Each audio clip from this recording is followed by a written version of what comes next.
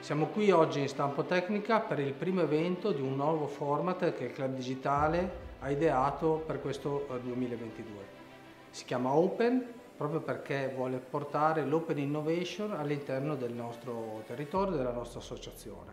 Cosa intendiamo per Open Innovation? Per Open Innovation intendiamo un evento, un confronto sui bisogni quotidiani delle imprese che ci ospitano. In questo caso si parla di dati, di integrazione di processi per il settore plastico. Dobbiamo imparare a leggere i dati, dobbiamo imparare a lavorare con i dati e dobbiamo imparare a comunicare i dati. Dopo che io ho preso i miei dati, li ho catalogati, li ho combinati, dopo li devo raccontare.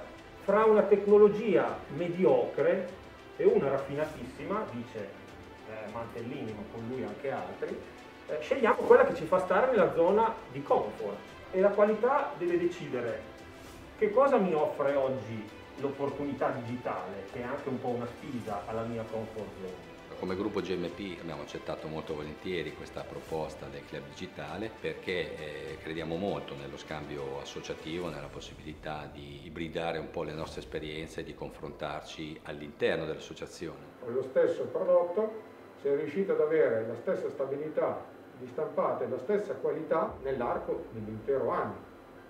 E questo ovviamente lo si ha solo se si ha un dato tangibile e anche una base di dati abbastanza imponente. I sistemi oggi in commercio che fanno questo mestiere sono quelli che ti permettono di avere un database unico di fare lo sforzo di interconnettere tutti i dati dei vostri impianti. Il perché quindi connettere le macchine?